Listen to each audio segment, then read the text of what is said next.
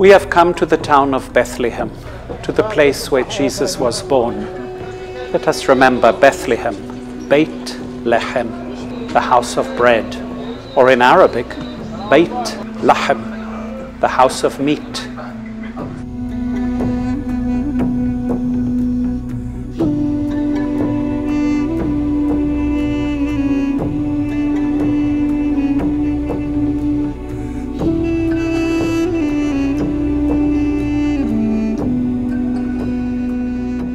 In the New Testament, we have only one verse that tells us explicitly about the birth of Jesus. Let us hear once again that verse, and we will look at it in detail, for it tells us a lot about the child who will become a man, who is the Messiah and the Son of God. She gave birth to her firstborn son. She wrapped him in bands of cloth and laid him in a manger, because there was no place for them in the inn. This verse is the unique witness we have to the birth of Jesus, but it tells us a lot more than just about the birth of Jesus. Let us look at this verse in some detail. So, the image at the very center of the verse should take us by surprise a baby in a manger. Of course, we know that a manger is not a place where you lay a baby. A manger is a place where you put food, food for animals. Yes, the small baby Jesus is laid by his mother in a manger, a place for food. And Luke tells us as well in this wonderful verse the reason for laying the baby in a manger. The reason is because there was no place for them in the inn. In the English language, we use the word inn to translate a Greek word that is katalima. Luke uses that word only twice in all that he wrote. Luke indeed wrote 24 chapters that make up the Gospel of Luke, and 28 chapters that make up the book of the Acts of the Apostles, and only twice does he use this word, katalima. I'm sure it is very important to identify the other place where this word is used. If we advance in the story of the life of Jesus and we come to chapter 22, it is the time of Passover. And Jesus sends two disciples into the city to find the place where he will celebrate the Passover, where he will eat the Passover meal with his disciples. In chapter 22, verse 11, Jesus says to his disciples, Go into the city and find the master of the house and ask him, where is the katalima that has been prepared for the celebration of Passover?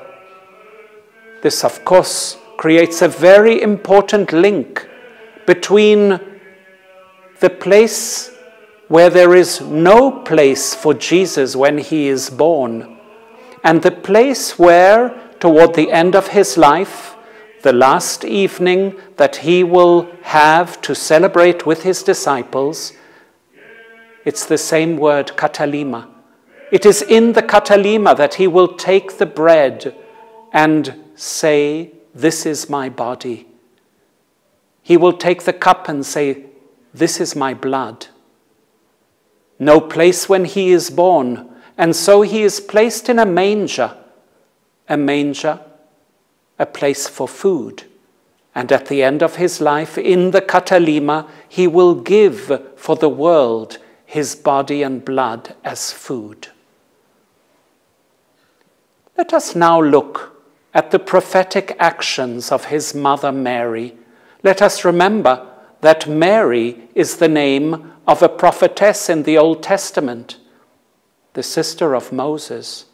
And here the new Mary comes and does three prophetic acts. she gives birth. She wraps the child in bands of cloth and she lays that child in a manger.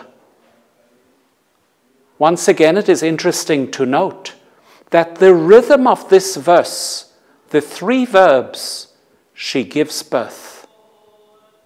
She wraps the child in cloth and lays the baby in a manger, are followed, these three verbs, by a description of place, in fact, a negative description of place. There was no place for them in the Katalima. If once again we are transported years ahead, chapters ahead in the Gospel of Luke, we come to what happens after Jesus has died on the cross. Joseph of Arimathea enters on the scene. And in chapter 23, verse 53, Luke describes the actions of Joseph he takes it down.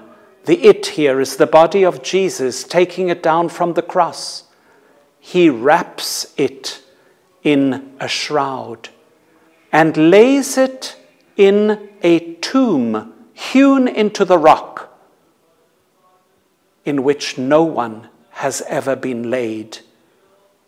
Have we noticed the same rhythm in these two verses? The verses that describe the entry of Jesus into the world and the exit of Jesus in his historical body from the world.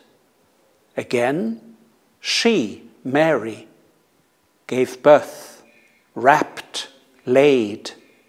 He, Joseph of Arimathea, took it down, wrapped it, and laid it. And both times these three verbs are followed by a negative description of place.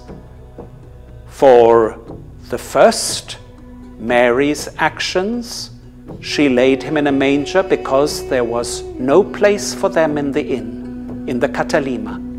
And Joseph's actions, he laid Jesus in a tomb in which no one had ever been laid again we notice that every verse of the gospel is pointing to who Jesus is.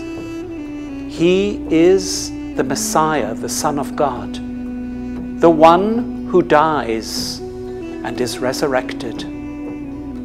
Let us notice finally that Jesus emerges from a womb in which there are no conditions for life for that womb does not contain any male seed. Mary, his mother, is a virgin.